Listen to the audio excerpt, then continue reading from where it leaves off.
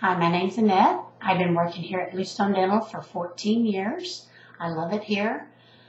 And um, I am a very big sports fanatic. I love all kinds of sports. I love the Texas Rangers, especially. I try to go out and watch them as much as I can. If not, I watch it on TV.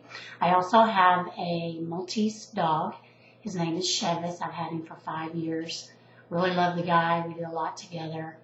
And if you want to come to Bluestone Dental, we'll talk sports or we'll talk dental. It's up to you. Come see us. Thank you.